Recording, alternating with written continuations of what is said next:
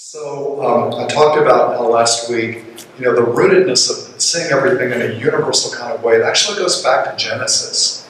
When God looked at everything God had made and saw that it was very good, we recognize that we can find the fingerprints of God in all of creation. So there's nowhere in the universe that we can go that we don't see uh, the creative action and power of God. In fact, uh, if God did not sustain all that is in reality at every moment, it would cease to be. That includes us. So sometimes people think creation was something God did uh, billions of years ago and then left the world to be on its own. That's sort of a non Christian deistic perspective.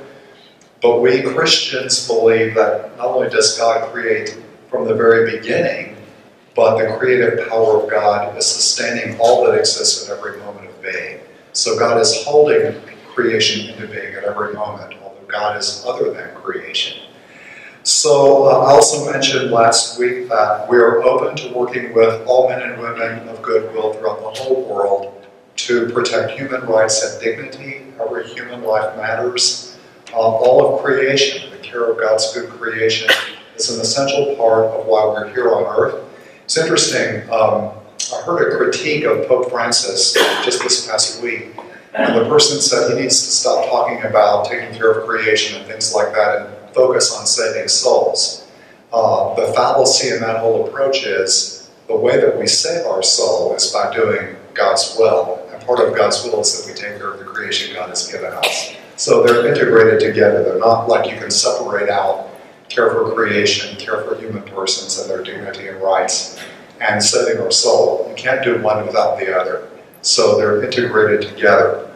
Um, with all people who believe in God, we share a belief in the sacred divine or, or God. Uh, at the Second Vatican Council back in the 1960s, the Declaration on Non-Christian Religions made a very key observation. We reject nothing that is good, holy, or true in any religion in the world. So uh, we believe that, in fact, all of the great religions of the planet have some elements of goodness, of beauty, and truth. And it's a matter of identifying and recognizing those. And, um, and we do believe, and we'll come to that momentarily with a document from the Second Vatican Council, we do believe that God even offers salvation to those who are not explicitly Christian yet, or have not yet even arrived at an explicit belief in God. Uh, but we certainly do share with our Jewish brothers and sisters a very deep 4,000 year tradition. And in a most particular way, we're bound together with other Christians who believe in the name of Jesus. And with them, we share the New Testament uh, and the ancient creeds of the church and most of the mainline Christians. So that's just a quick thumbnail review of what I uh, talked about last week. What I wanted to do next is to give you a taste of one of the documents from the Second Vatican Council. Uh, you all may know that the Second Vatican Council was called into being by Pope John the 23rd, now a saint, St. John the 23rd. He was elected Pope in 1958. Uh, how many of y'all were alive in 1958 when Pope John was elected? Okay, some of you, yeah. So I was born during uh, the pontificate of John the 23rd. Uh, was born in 62. Uh, he didn't live long after that, actually. But uh, he was not Pope very long at all, and he made a surprise announcement that he was going to call together what we call an ecumenical council. It's a worldwide council of the Catholic Church.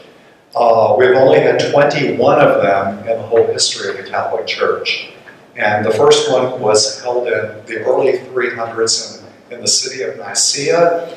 And in those days, the great controversy was uh, is Jesus uh, the same as God the Father in terms of his divinity, or is he just simply greater than us but not yet fully like God the Father? And uh, until that point in church history, the bishops in their own areas had been able to pretty much defend and explain the faith in a satisfactory way. But something happened in the early 300s, actually two important things. One was, uh, for the first time in the Roman Empire, uh, the Roman emperor made it uh, legal to be Christian. So the Emperor Constantine uh, uh, passed the Edict of Toleration so that you could be Christian legally in the Roman Empire. That was a major innovation, and it's going to be extremely significant for the First Ecumenical Council. I'll tell you in a moment why. But the other thing that happened was there was a priest in, uh, in Egypt, in Alexandria, by the name of Arius, who was teaching that Jesus, though divine, was not at the same level as God the Father, not that high up. And he even quoted the Gospel of John, where Jesus says, The Father is greater than I. So he used the New Testament to uh, support his teaching and belief. His own bishop in Alexandria uh, condemned that position and said Jesus and the Father were essentially one in their divinity. Unfortunately, the bishop in Jerusalem at the time sided with the priest, Arius. So you had bishops then who were divided. So uh, when the Emperor Constantine realized that this uh, major debate was going on, it was not the kind of thing we may think today as sort of a scholarly sort of discussion in a university or a church setting, but it became a very great source of contention in the Roman Empire to the point that when people would go to the bakery and the butcher shop and so forth, they would be discussing this in line, sort of like several years ago when the Passion of the Christ came out and I was at the subway and I heard people arguing about whether they were going to go see it or not. You know, so public discussion, and basically the Emperor Constantine said, you know, we've got to resolve this for the sake of the unity of the empire. So he summoned all the bishops of the church to Nicaea, they met together in a worldwide council, and they hammered out a solution to the problem. So that was the first one. Uh, the Second Vatican Council, in the 1960s, is the last one that we've had. Begun in 19, October 1962, and it was concluded December the 8th, 1965. So if you do your math real quick, this coming December the 8th is the 50th anniversary of the end of the Second Vatican Council, and Pope Francis has proclaimed it as the day would begin a year of mercy. So it's a very significant year that we are in. So the council itself produced 16 documents, four of which are central major constitutions. One of the four, the dogmatic constitution of the church, in some ways is kind of the foundation of all the others. I'm going to share with you all a little piece of that tonight. In fact, some of you have copies of it, uh, one little tiny section of it at your table.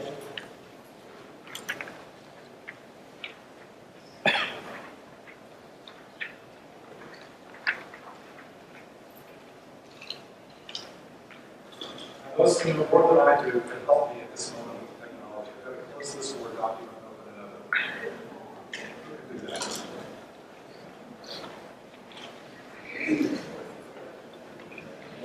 All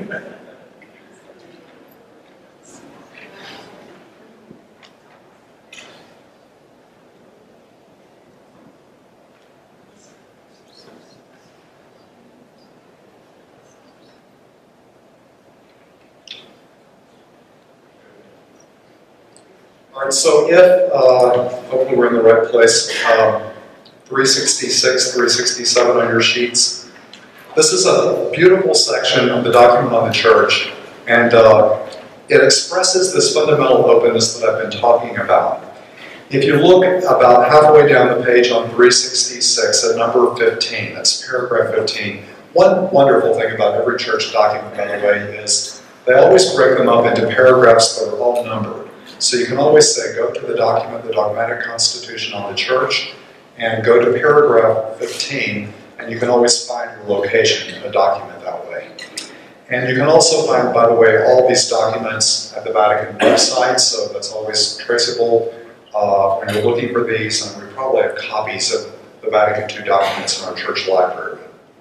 So um, in number 15, it says the church, and it's referring to the Catholic Church here, knows that she is joined in many ways to the baptized who are honored by the name of Christian, but do not, however, profess the Catholic faith in its entirety. So it's recognizing we share a communion with other Christians, though we have something we believe more. And they have not preserved communion under the successor of Peter. So the successor of Peter, we believe, is the Bishop of Rome or the Pope. And it goes on to say there are many who hold sacred scripture and honor as a rule of faith and life, have sincere religious zeal, lovingly believe in God the Father Almighty and Christ the Son of God and the Savior, who are sealed by baptism, which unites them to Christ, and who indeed recognize and receive other sacraments in their own churches or ecclesiastical communities. So when we use the term in official Catholic Church documents, other churches with a capital C, it's principally referring to the Orthodox churches of the East, ecclesiastical communities typically referring to Protestant churches and the Anglican Communion. Many of them possess the episcopate, in other words, they have bishops.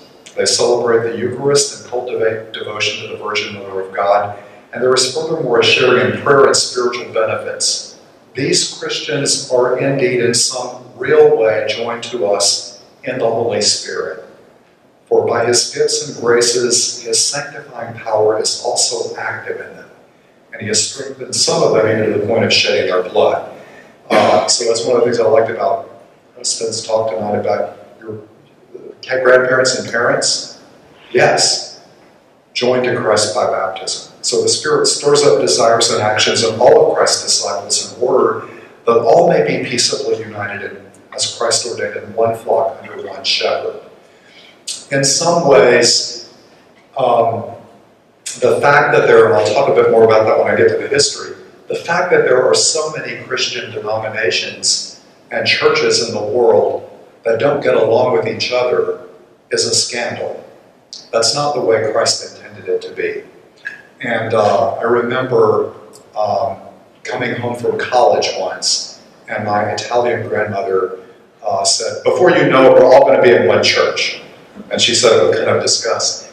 And I said, Well, Grandma, didn't Jesus pray that all might be one, even as he and the Father are one? And uh, she didn't quite know what to make of that. But my grandmother be very passionate. But here it's clear Mother Church never ceases to pray, hope, and work that this unity may be achieved.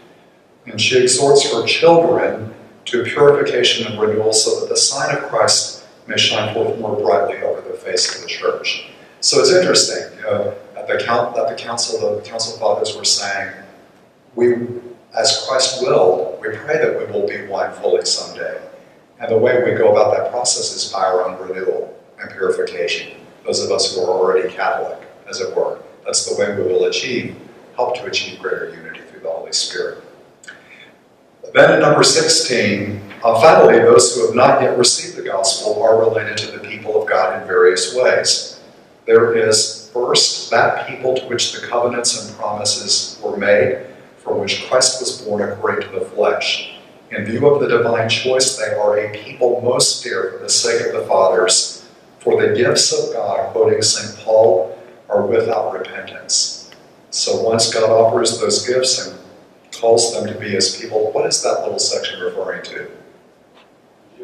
Our Jewish brothers and sisters, a people most sacred to God, uh, set apart. If you want to reflect a bit on how Paul struggled with the fact that many non Jews believed in Jesus, while many of his own people who were Jewish didn't, the letter to the Romans, Paul has this really profound reflection on that great mystery and the struggle and Paul's hope that someday uh, all would be brought to fullness in Christ. But then it goes on to say the plan of salvation also includes those who acknowledge the Creator in the first place among whom are the Muslims. These profess and hold the faith of Abraham. Together with us, they adore the one merciful God, mankind's judge on the last day. Nor is God remote from those who in shadows and images seek the unknown God, since God gives to all life and breath and all things. And since the Savior wills all to be saved, and this is a key section of this document, those who through no fault of their own do not know the gospel of Christ or his church, but nevertheless seek God with a sincere heart, and moved by grace try in their actions to do his will as they know it through the dictates of their conscience those too may achieve eternal salvation. So for those uh, who have not yet arrived at an explicit belief in Jesus, through no fault of their own, uh, they too may be saved. And somehow the grace of God is working in them. providing they follow the sincere dictates of their conscience. And then it goes on to say, and we'll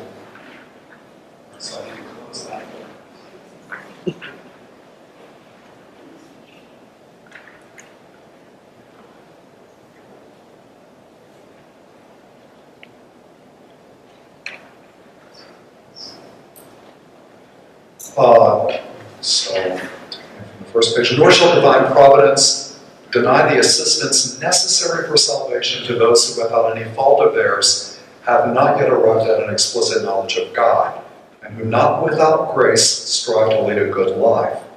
Whatever good or truth is found among them is considered by the church to be a preparation for the gospel and given by the one who enlightens all that they may at length have life.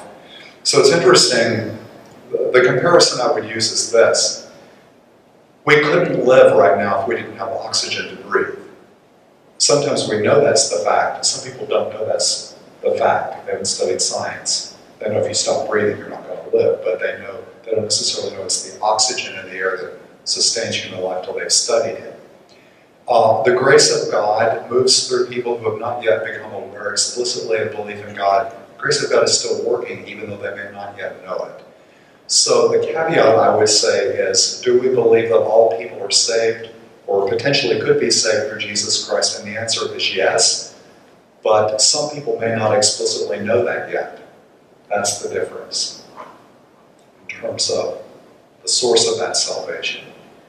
Uh, the document goes on to say that very often, deceived by the evil one, men have become vain in their reasonings, have exchanged the truth of God for a lie, and serve the world rather than the Creator or else living and dying in this world without God, they are exposed to ultimate despair. Hence, to procure the glory of God and the salvation of all of these, the church, mindful of the Lord's command, preach the gospel to every creature, takes a zealous care to foster the missions.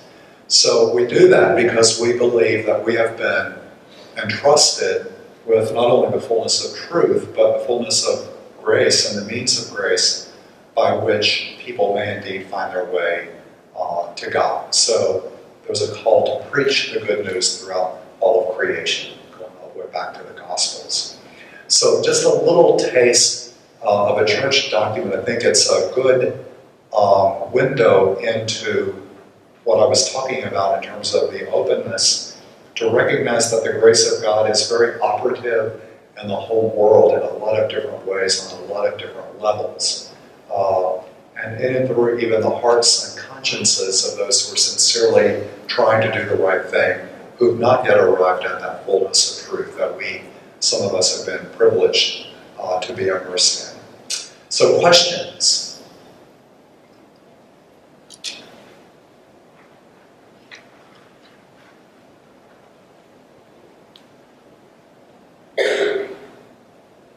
or observations. I know some of y'all may be more hesitant to ask questions out loud, and so if you want to write questions down, I think, is there a way for them to do that? Yes, some cards. Our cards are at every table, so if questions come to you and you want to write them down for us to address later, we're happy to do that too. So, all right, now I'd like to go back to document one again, the first one I had up there. And let's scroll down to historical perspective.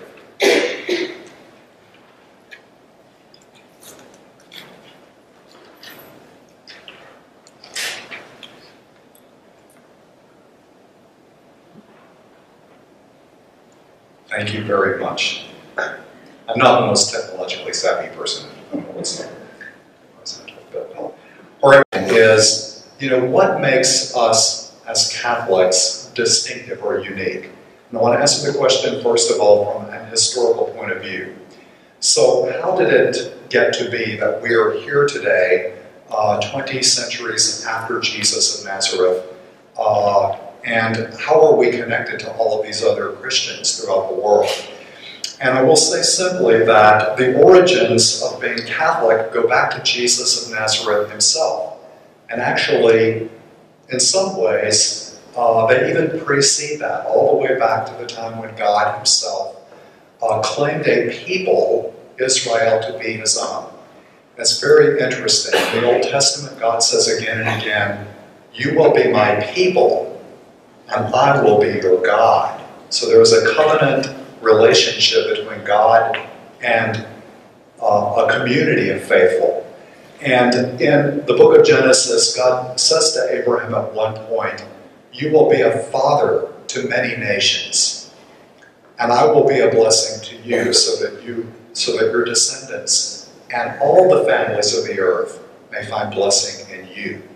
So the whole idea of God choosing Israel to be his own people was not somehow that they were uh, better than the rest of humanity, but God called them or elected them a people to be a light to the nations in order that God's saving truth might reach out to all the world. So the election or purpose of God in calling a particular people of his own was that they might be God's people for the sake of the world, if you look at it that way.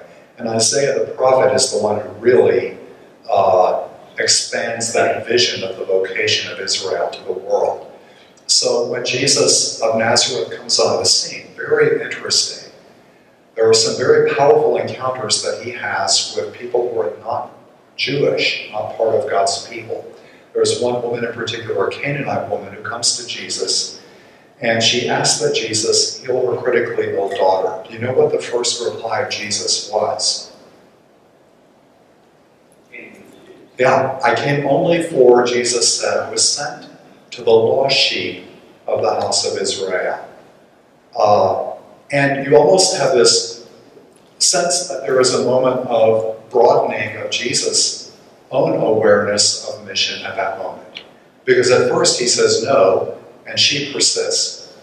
And she, in the end, she says, you know, even the dogs get to eat the food that falls on the table. And Jesus says, for your great faith, uh, this, this will be granted you. And he said, many in Israel don't have this faith. So he, this encounter is a dramatic turning point in his public ministry that prepares the way for what's going to happen at the resurrection, when Jesus will indeed send them to the whole world. So, but it's interesting. How many disciples does he choose to be in the inner circle, as it were? Those that will be apostles or sent. The number, very significant number, 12. And why 12, do you think? The 12 tribes of Israel. Jesus, in a prophetic way, is saying by choosing 12, in a real sense, he's reconstituting God's people. He is recreating the 12 tribes of Israel with the 12 apostles. So uh, it's a new beginning, as it were, for God's people that will be sealed in a new covenant in his own death uh, and resurrection on the cross. So this profound uh, beginning uh, flows out of the dying and rising of Jesus and the gift of the Holy Spirit. So uh, the moment of Pentecost is often talked about as the birthday of the church. So the church is born on Pentecost Sunday. And from there, those disciples in the upper room were given the mission to go out and proclaim the gospel to all the nations. And immediately, Peter goes out. I think he's drunk that morning, and he speaks in a language that everyone from all over the face of the earth and Acts of the Apostles and the nations that they knew about, that they all understood. There was a universality to the message. And so the gospel begins to go out to the whole world at that point. So in the beginning, uh, those who were baptized and believed in Jesus considered themselves part of one body throughout the world. And I would say that substantially in the first thousand years of Christian history, this was seen that way. Were there arguments and tensions in the church? Of course, even in the New Testament. Uh, read Paul's first letter to the Corinthians. Paul says, uh, I hear that there are divisions among you, and I'm inclined to believe it. He says, some say they follow Paul's, others follow Apollos or Cephas or one of the other apostles. And then Paul goes on to say, Has Christ then been divided? You know, what's wrong with you all? Uh, so the whole idea that somehow we're all part of one body in Christ, and Paul will use that image in his letters. We're part of the body of Christ and every part matters, didn't prevent the fact that there were at times divisions and conflicts and tensions, and even breakaway communities or sects uh, of Christians that broke away in the early church. And sometimes they were arguing about very, very intense fundamental issues. I'll give you a good example. One of the hotly contested issues was uh, during the Roman persecutions, they come to your house and they say, Will you uh, offer incense to the Roman emperor as God? Well, if you're a follower of Jesus and Jesus is Lord, are you permitted to do that? Never. Uh, that would be one of the greatest sins of the ancient church, you know, that you're supposed to believe that Jesus is Lord. You're not going to worship the Roman emperor as Lord. But now they've shown up at your house and you have a choice. Either you worship the emperor and offer incense, or, you know, it's your time to meet your maker. You know, you will be martyred. Some were martyred and die for their faith at that point.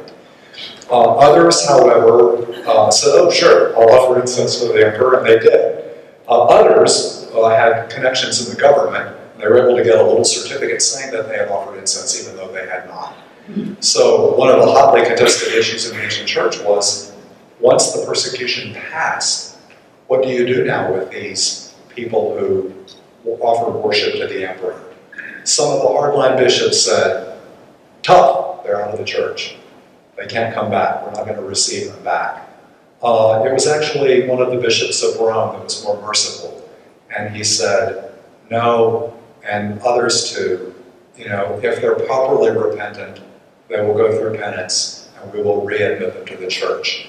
But this was such a conflict in the ancient church, it, there were sects that were created. So it broke Christianity apart in some way, uh, but not in a major way. So that's why I say for the first thousand years, for the most part, you really do have a certain oneness. But uh, you notice a pivotal date is marked there, 1054, the great East-West Schism. Uh, that really is the first time in the history of Christianity when the great church, uh, the Catholic or Orthodox Church, uh, gets broken in half. And why did it happen? Well, there were a lot of reasons that it happened. Uh, there were two different languages in the western and eastern parts of the empire. The eastern part was Greek speaking, the western part was Latin speaking. They had a different cultural milieu that developed, uh, different capitals. So once you no longer talk in the same language, you have a different cultural uh, setting, you have different political systems and capitals, uh, it creates uh, a built-in situation where things are easily misunderstood and uh, people don't get along uh, anymore. So something about that universality was fundamentally ruptured. So much so that uh, Pope John Paul II, now Saint also, said it's like the church is trying to breathe with one lung instead of two. You need both lungs for the church to function. You need both east and west for the church to be whole again. But apparently, uh, the Pope, the Bishop of Rome at the time in 1054, um, sent representatives to Constantinople where the Divine Liturgy, what we would call the Mass in the West, was being celebrated. And apparently, they laid the bull of excommunication on the altar during Mass, during the High Liturgy, uh, excommunicating the Eastern Church from the West. And that has never been forgotten by the Eastern churches. So I just got, someone about three years ago showed me a, a brand new English translation of the Bible written from the Orthodox Church, and they tell the history of the church, and you see right there, in 1054, the papal representatives arrived during the High Liturgy and laid the bull of excommunication.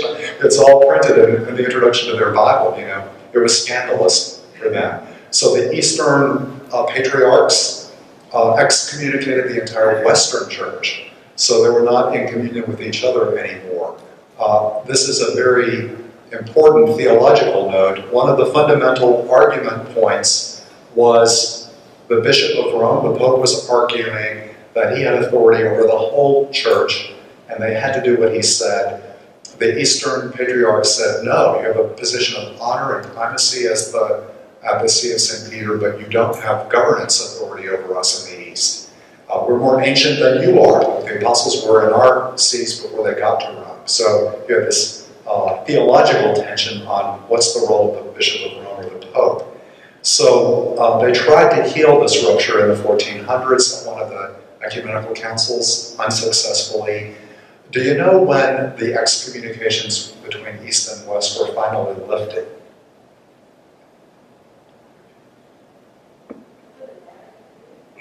Shortly after Vatican II, in the 1960s, Pope Paul VI, and now blessed, and the Patriarch of Constantinople mutually lifted the excommunications together. So after a thousand years almost, those double excommunications were lifted. And we as Catholics recognize the Orthodox churches as being fully apostolic, fully sacramental, the Eucharist that they celebrate fully valid, and in fact, for us, there would be no obstacle to a Catholic receiving communion in the Orthodox churches. But we also add that we need to respect the tradition of the East, and the Orthodox are not yet open to us having intercommunion normally. So, uh, so it's an interesting time in history that we're living in. Pope John Paul II and Pope Benedict and Pope Francis have all been working to try to heal that rupture of East and West. And back in the late 1990s, you may know that Pope John Paul II wrote a letter and invited non-Catholic theologians to reflect on how we might renew uh, the ministry of Peter, the Bishop of Rome, so that the Pope could be an effective leader for the whole of Christianity. So it's an interesting invitation that he offered back in the late 1900s. But to my knowledge, has not been has not been a huge non-Catholic response yet to that. So we'll see what happens. Uh, the second great division that happened in Christianity in the western part of Christianity occurred in 1517. This is the, uh, the official marking point historically now of what we call the Protestant Reformation. And I can't go into all of the details because I'm trying to do 2,000 years of history in 20 minutes. But um, essentially, uh, Martin Luther was an Augustinian monk who had a very profound sense of his own sinfulness and wrestled with trying to feel that he was accepted by God and justified uh, by God and not condemned for all eternity. And uh, so he is a young man struggling with those core faith issues. In the process of doing that, he made a trip to the city of Rome. And at the time, Rome was in the middle of the Renaissance papacy. There was a lot of corruption. Many church leaders were living lavishly and not living the moral dimensions of the gospel. Some of them were married and were not married, and mistresses and children. So he was horribly scandalized by what he saw taking place in the leadership in Rome and they were also raising funds uh, in Rome to build St. Peter's Basilica. And apparently, some of the preachers on the ground in the German speaking areas were using language that seemed to imply that if you spent the money to help build St. Peter's, you could get people out of purgatory and into heaven. So, in Martin Luther's mind, this was people buying people's souls into heaven. And he was horribly offended by this. Was studying Paul's letter to the Romans and as he was praying with it, he came to this very clear, sudden conviction that we are saved through faith alone, not through any works that we do. And uh, he went to the church at Wittenberg, a famous historical moment. I don't know if it really happened exactly that way, but he nailed his 95 basic theses on the church door at Wittenberg. And uh, when word first got back to Rome, to the Pope, uh, he was apparently out hunting and um, they said, you know, there's a, a, squabble going on in the German church. He said it's a monk squabble. I'm not getting involved in that at the beginning. But as it became clear that this was growing, uh, Martin Luther in 1521 was excommunicated by the Pope. And uh, at first, they really tried to work to heal that split.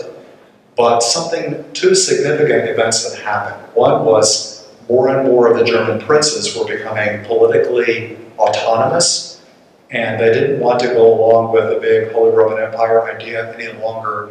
And the other significant development was the, the invention of the printing press. So ideas could be rapidly spread throughout the empire, throughout, the, throughout Europe, and people could read what Martin Luther and others were saying. Uh, and so that moral, um, um, what do you call it, corruption in the church created the seedbed of this crisis that emerged.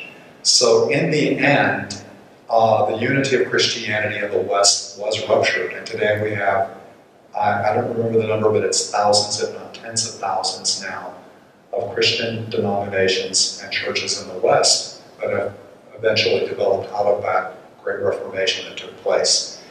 Uh, the popes were afraid of ecumenical councils at that point. They delayed calling one, but eventually, in the mid 1500s, they called the Council of Trent. It went through three long periods of history. There were a number of popes that were popes during that time, which was an attempt to respond to the Protestant Reformation and uh, to reform the Catholic Church and morals so that we would not have the problem of scandal. Um, it's interesting, they even fought uh, in Europe. Blood was shed over many years trying to force Protestants to convert and Protestants fighting back against the Catholics. And uh, eventually they agreed to disagree and let everybody remain where they were under the leadership of their own uh, political leaders. Uh, they tried to um, solve the problem with argumentation but to say that there was a coolness among the Christian denominations for a few centuries thereafter would be sort of an understatement for a long period of time. It's only in the early 20th century that, in the Anglican world and the Protestant world, uh, that the ecumenical movement began to try to bring Christianity back together. And uh, strongly endorsed by the popes at the Second Vatican Council, uh, who were latecomers to the ecumenical movement, but they said, you know, it's time for us to rebuild that lost unity. So I'll say a little bit more about that, uh, but the whole Lutheran movement throughout the world owes that origin to Martin Luther and his fundamental thesis, which I'll talk a bit more about in a moment. Um, at the core of Martin Luther, if I had my whiteboard, I would write a few things on it now. Uh, Martin Luther was convinced that we are saved through faith alone. We can't do anything to earn salvation. Sola fide in Latin. Uh, and he would say it is by God's grace alone, not by any human effort, that we arrive at salvation. It's a free gift of God. Sola gratia. And how do we know this? We know this through the Word of God, through Scripture alone. So no appeal to church teaching or papal authority or catechisms, sola scriptura. So we know we're saved through faith and grace alone. We know that through Scripture alone. And John Calvin, uh, who will be a more rigorous uh, reformer, and then even Zwingli even more so, will so much separate the holiness of God from the evil corruption of humanity and the world that it's either God or creation, God or man. God alone is holy. We're all inherently corrupt and evil. So um, when I talked earlier about Catholics having a fundamental belief that we can experience God anywhere, that is a uniquely Catholic thing, especially when you link it with a more Protestant or Calvinist suspicion of the world or this created reality. So we'll talk a bit more about that. Um, the other thing that happened was John Smyth in 1608 began the Baptist movement And so we had uh, the Baptist movement flowing out of that moment and the Protestant Reformation. And you had more radical reformers, the Anabaptists, who also flowed out in the 1500s, uh, who will become in the United States people like the Mennonites and the Amish, who want to go back to a very um, New Testament way of understanding reality and don't see a connection with um, the tradition that's developed over the last 2,000 years. So one of the elements that you might say is that on the radical reformers' part, they looked back at church history and they felt like we got way out of focus. And they're trying to go back and restore the original pure New Testament church. And even the churches of Christ go back and recreate the original church of the New Testament that's been lost for 2,000 years.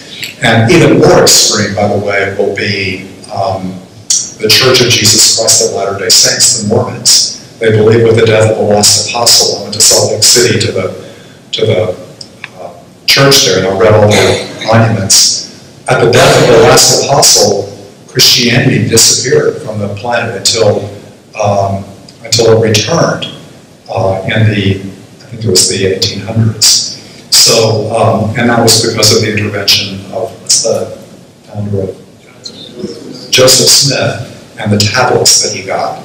And so the belief that Jesus came to the New World and a new Book of Mormon that, in a sense, transcends what we call today the New Testament. But it's even a more radical belief that what's taken place over the last 2,000 years, in a sense, doesn't matter. It's to go back and restore the New Testament church in its pristine purity and in the most radical sense of that word. Uh, the Church of England, by the way, is a weird exception. Uh, King Henry VIII was once called a defender of the Catholic faith. Uh, but when he wanted to divorce and remarry and the Pope wouldn't grant an annulment, he decided he was the head of the Church of England and then would go to run away. So he broke from Rome. And after that, the Church of England really struggled with uh, what kind of church it was going to be. There were many who wanted to be very Catholic, but to be under the authority of the king rather than the Pope. And there were many who wanted to be much more Protestant, like Martin Luther or John Calvin. So Anglicanism had to go through its own periods of struggles, and they eventually came out with what they call the middle way, where they sort of agreed to let everybody in the Anglican communion disagree with each other, but have a very broad tent. And you see how that's unfolded in the 20th and 21st centuries in terms of, you know, the whole wrestling with, for example, gay uh, bishops or gay marriage.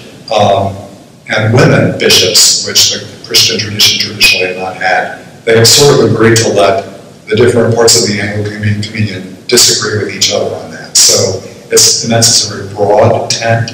Uh, some in the Anglican communion are more Catholic than the Catholics, and some are more Protestant than the Protestants. So you have a huge variety in that great tradition. So um, that's a little quick snapshot about um, you know, how Christianity in that 2,000 year period went from being one, in a sense, one great body, a Catholic or Orthodox communion of Christians throughout the world, to the divisions that we have today. So that's just a quick historical back view. Questions about that?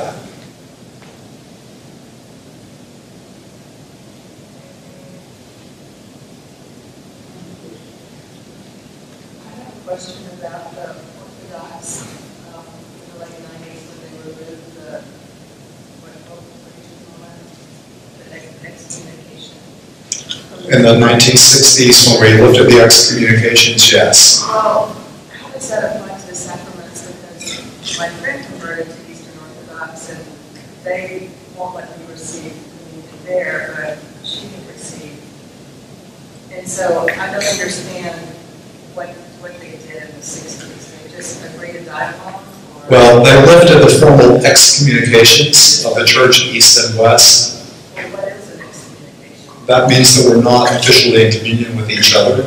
So from a Catholic, Roman Catholic, Catholic point of view, we are able to receive communion in the Orthodox churches, and the Orthodox would be able to receive communion in our churches. But the Orthodox are not open to us receiving communion in their churches, nor do they want their members to receive communion in our churches. So we also said let's respect also, even though we would be open to it, let's respect the discipline of the Orthodox Church. Correct. We're not fully healed yet.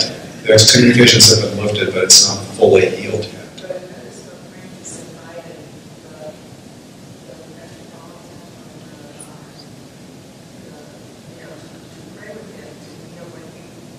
Yes. Yeah. This is the popes since Paul the Sixth, uh, John the Twenty Third, really have made a real effort to try to heal these divisions.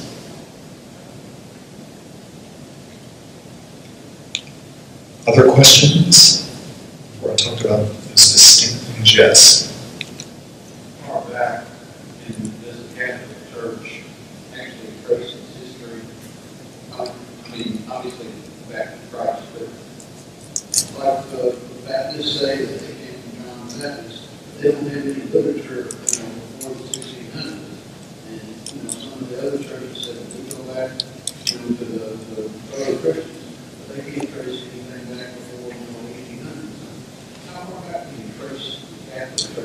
you can trace us continuously back, the Orthodox and the Catholic churches, all the way to the Apostolic Church. So the apostles uh, went from Jerusalem and they went throughout the Roman Empire and carried the gospel. Peter and Paul both went to the city of Rome where they were only preached the gospel but were martyred. So all of the Orthodox churches, the churches of the East and Roman Catholic, all have roots going apostolically back to the very beginning. My friend, who became a Roman Catholic priest, grew up Methodist, and uh, he said when they were in a Methodist church, they, the Methodists were much more open. I didn't mention much about the Methodists, but John Wesley emphasized the gospel of love and preached to the coal miners and really reformed Anglicanism to some degree. He didn't attempt to start a new church, but that happened. But the Methodists are often in the southern United States some of the easiest Christians to work with ecumenically. And my friend's uh, Sunday school teacher said, you know, the Catholics really are, the Anglicans are our parents, and the Catholics are our grandparents, and the Jewish are great, our great grandparents. So they saw all the family, they recognized the fam, family lineage uh, going down to Methodism. So.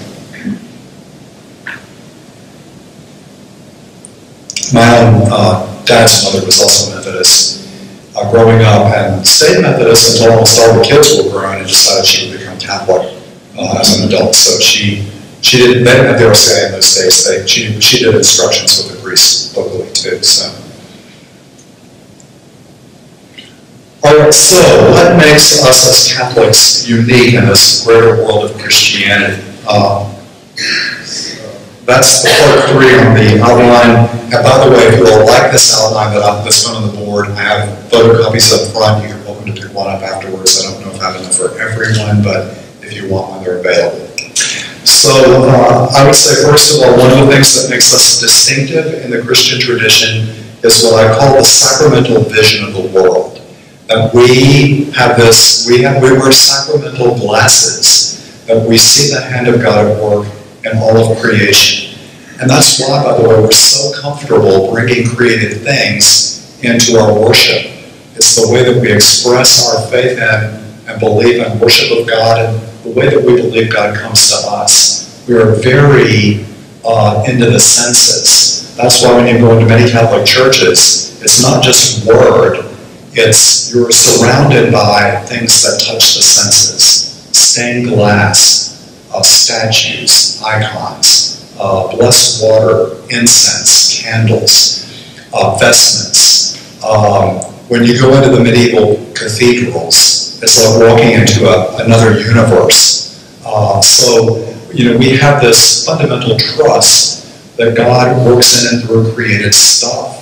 And it's so fundamental, we'll talk about it later with sacraments, but all the sacraments include elements of creation bread, wine, water, oil, human hands and touch. So uh, we are a sacramental people. Uh, I realized this as a little boy. I went to the Catholic Church in Lawrenceburg, and when we walked into that German Gothic church, it had, had high altars with statues. The smell of incense and candles that had burned there for over a century, um, the stained glass windows. I went to a friend's church for a wedding, uh, and I walked in, and it was white walls, a podium up front, and I think that was the Church of Christ. They didn't use any instruments in music.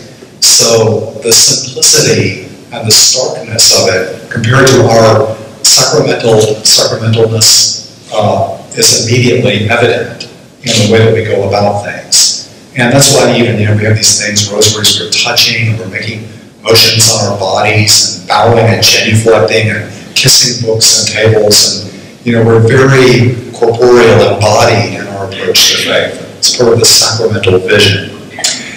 The second great thing about being Catholic, I mentioned it last week, is we are both and people. So what was our answer, by the way, to Martin Luther's great challenge? We're saved, Martin Luther said, through our faith alone. The response in the end that we gave was no. We are saved through faith, but that faith is always expressed in our lives through our works. So faith and works together. Uh, the grace of God, yes, we can't be saved without God's grace, but human cooperation, grace and human cooperation with that grace and freedom work together. Uh, yes, God reveals himself in Scripture, but not Scripture alone, through Scripture and tradition, the faith that's been handed down to us through the centuries.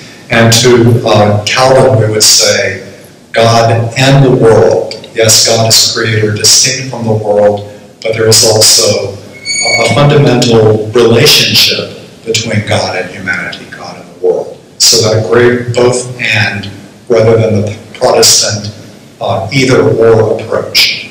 Now, I will add as a quick aside, by the way, that these things that I'm talking about that make us uniquely Catholic are also very much shared by Orthodox. They too are very sacramental, they're very both and in their approach to things.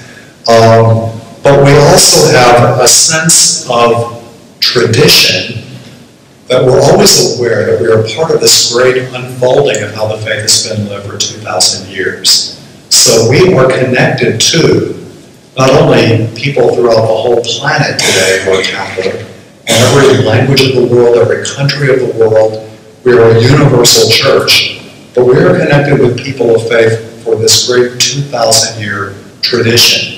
So we claim everybody. We claim uh, Cyprian in the East and John Chrysostom. We claim Augustine. We claim those who had conflicts with each other uh, in the history of the church. Um, we claim all of it as belonging to that great Catholic communion. So we are very aware that we are part of this great tradition. Um, if you're in the Church of Christ in the 1800s and early 1900s, you could think we've rediscovered Christianity. It's been gone for 2,000 years. But from a Catholic point of view, we've known this mystery for all of these years. Do we always live it well? No. Have we distorted it? Yes.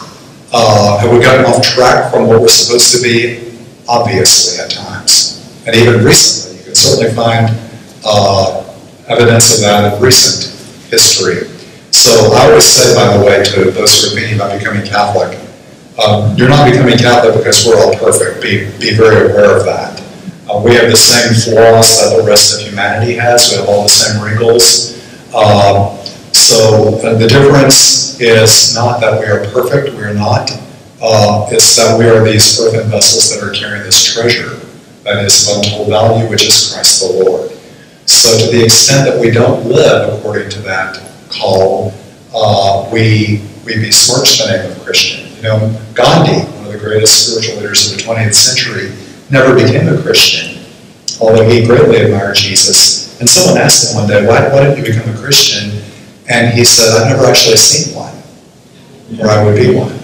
So he was so he admired the teachings of Jesus, but he never saw anybody actually living fully that gospel that Jesus proclaimed.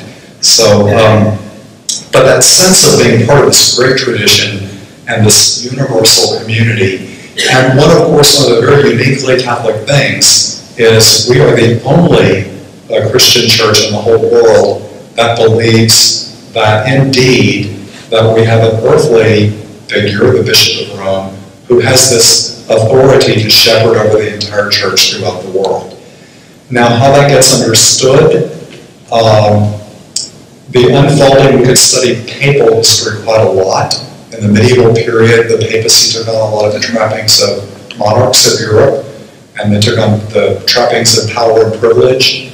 And perhaps John Paul was right in saying we need a way of redefining the, the ministry of the Bishop of Rome so that we can, so that he can indeed be an effective shepherd for uh, all of Christianity. So that may happen someday, one never knows. Uh, I suspect that the only way it will happen is a combination of a deeper awareness of what connected us together in the very beginning with a figure of great humility like Pope Francis, uh, who clearly makes it clear that it's not about him as a person, but it's the role to which he has been called. It's interesting, I don't know if you paid attention, when he was elected Bishop of Rome, you know what he said? He said, You all went to the end of, ends of the earth to find a bishop for Rome. He didn't say a pope. He is the pope, of course, the bishop of Rome is the pope, but he emphasized the bishop of Rome, which is one of the most ancient titles, the successor of St. Peter, the bishop of Rome. And in his role as bishop of Rome is he the shepherd of the universal church, following in the footsteps of Peter. But in the ancient church, they would always say, always say the see of Peter and Paul, the two great apostles who gave witness by their, their faith and their death in the city of Rome. All right, so that's a bit of a introduction to Catholicism by way of a big bird's eye view. Uh, Questions or observations? So in the weeks and months ahead, we will be unfolding various elements uh, and looking at them more profoundly and deeply. So this is just a quick overview. So um, you all have a wonderful rest of the evening. Janet, you're to close us, right?